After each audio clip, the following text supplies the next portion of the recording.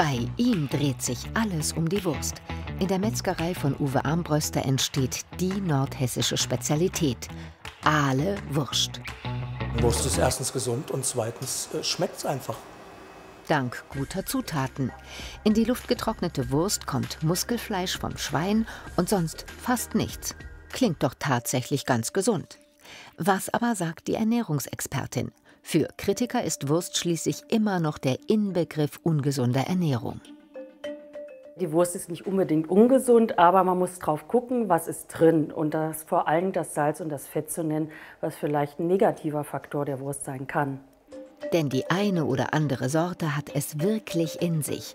Deshalb lohnt es sich, genau hinzuschauen.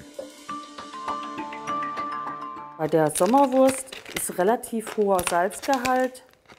Da sind in 100 Gramm 4,3 Gramm Salz drin enthalten. Das ist ein sehr hoher Wert.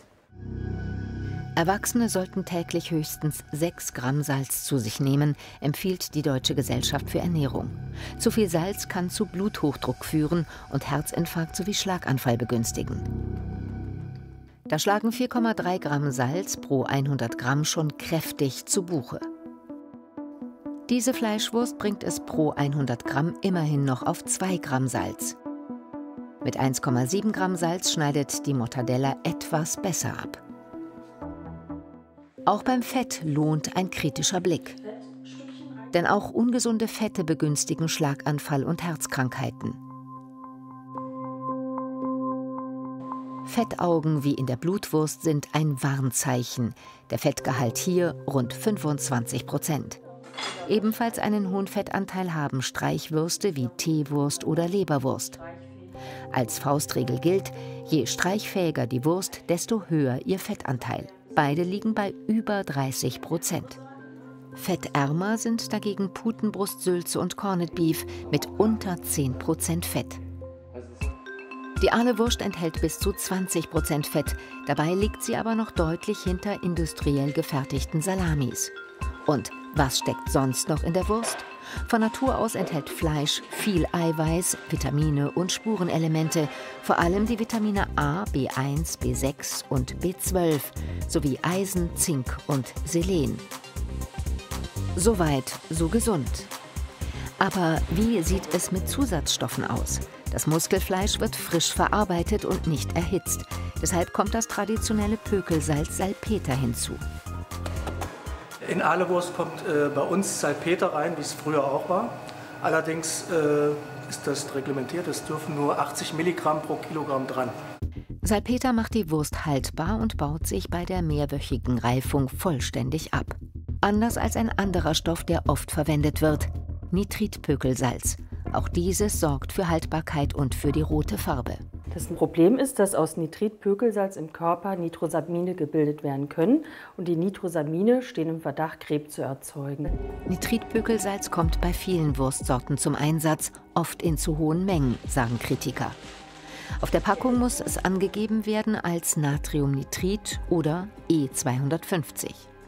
In konventioneller Wurst dürfen je nach Sorte bis zu 150 Milligramm pro Kilo zugesetzt sein. Aber nicht nur Natriumnitrit, auch Fleisch an sich soll krebserregend sein.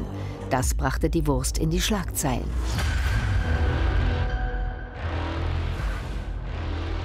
Sogar die WHO warnte im Jahr 2015 vor dem übermäßigen Verzehr. Ab 50 Gramm am Tag steige das Darmkrebsrisiko um 18 Prozent. Das klang dramatisch. Was aber bedeutet es genau? Bei Betrachtung der absoluten Zahlen zeigte sich, von 100 Menschen, die viel Wurst und Fleisch essen, erkranken statistisch gesehen sechs an Darmkrebs statt fünf in der Vergleichsgruppe. Also gerade mal einer mehr. Das scheint wenig, aber das Risiko bleibt. Klar ist, die Menge ist entscheidend. Je mehr Fleisch und Wurst, desto ungesünder. Was aber ist zu viel? Die Deutsche Gesellschaft für Ernährung empfiehlt höchstens 600 Gramm Wurst und Fleisch pro Woche.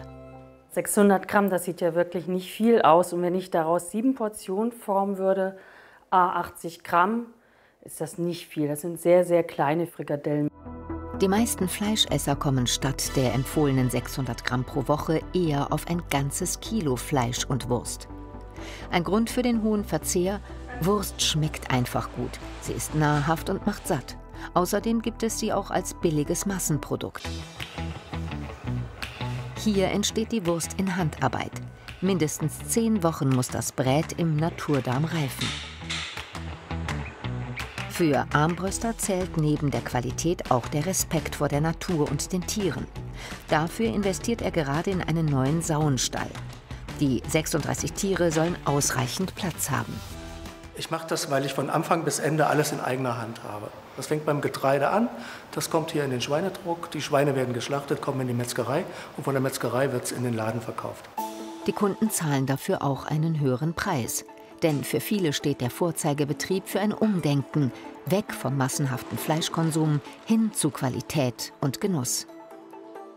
Der Gesundheit wegen komplett auf Fleisch und Wurst zu verzichten, hält auch Anja Later für übertrieben.